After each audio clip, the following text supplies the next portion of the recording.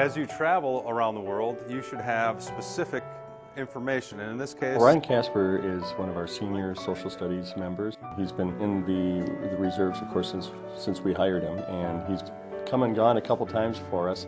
The first time he went to Iraq, and I think really just saw a need. We'll go look uh, into their classes, see what their classrooms look like. He contacted me and his brother and a number of other people here. And I heard that he started the Hearts and Minds Club. So he organized supplies, uh, games, frisbees, toiletries. The supplies came from community members, from people donating from all different areas. My grandson set up a website and it snowballed, ended up with 15 different states contributing to school supplies.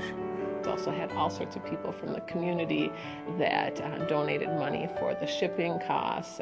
And people would send stuff and drop stuff off, and we would we would use the whole cafeteria and bag and box things and separate stuff. Pens and pencils, crayons, markers, pencil bags and boxes, and all that stuff. And it was really cool because there was so much to separate.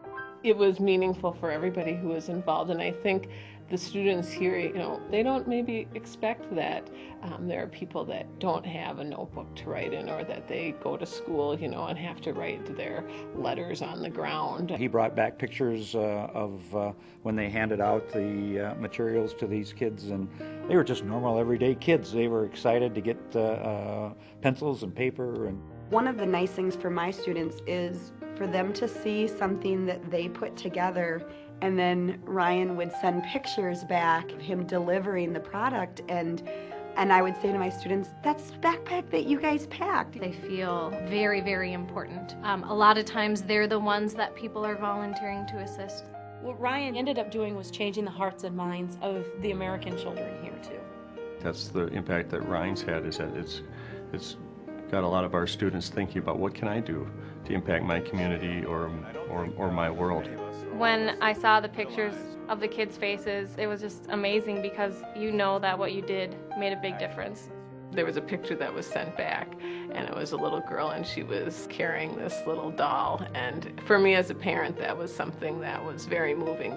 I look at Ryan being in the military, and that, that's risky enough.